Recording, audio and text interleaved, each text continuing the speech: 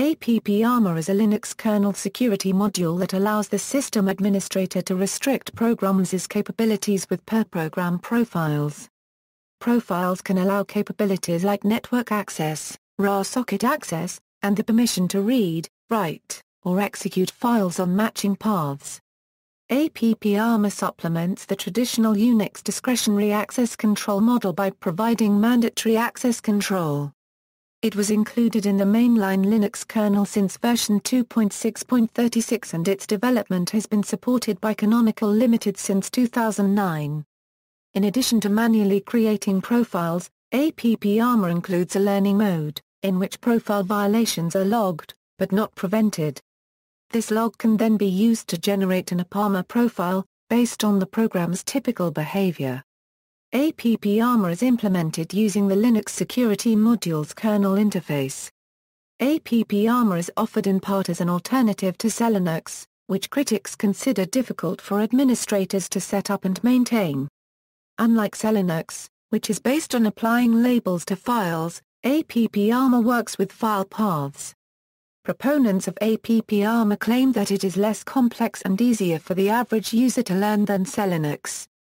They also claim that APP APPARMOR requires fewer modifications to work with existing systems, for example, Selinux requires a file system that supports security labels, and thus cannot provide access control for files mounted via NFS.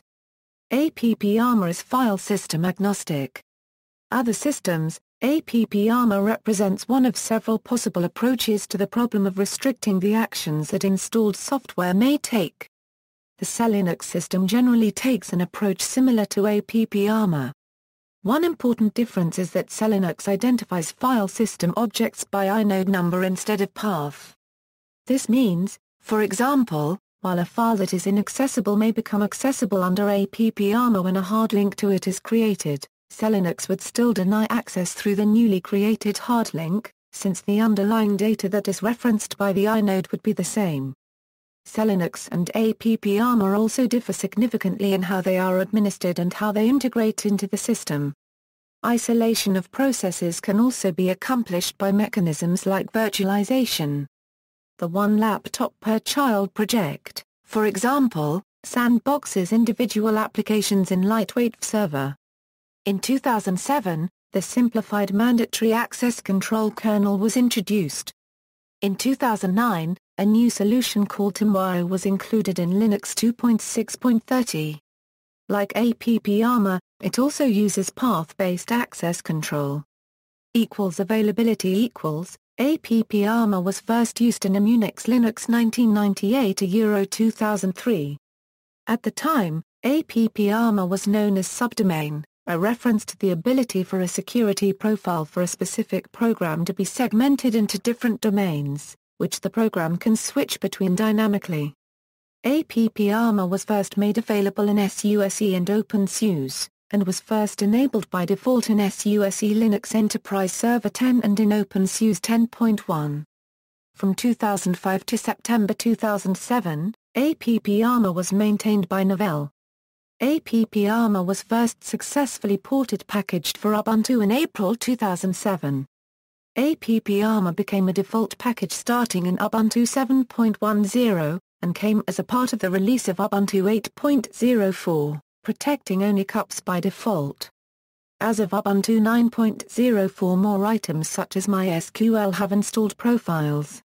APPARMOR hardening continued to improve in Ubuntu 9.10 as it ships with profiles for its guest session, libvirt virtual machines, the Evince document viewer, and an optional Firefox profile. APPARMOR was integrated into the October 2010, 2.6.36 kernel release.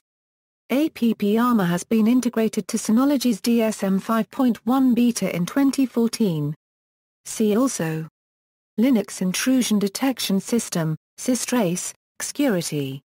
References External links, APPARMOR Wiki, APPARMOR description from OpenSUSE.org, LKML thread containing comments and criticism of APP APPARMOR, APPARMOR packages for Ubuntu, Counterpoint, Novell and Red Hat security experts face off on APP APPARMOR and Selinux, http, www.novell.com Security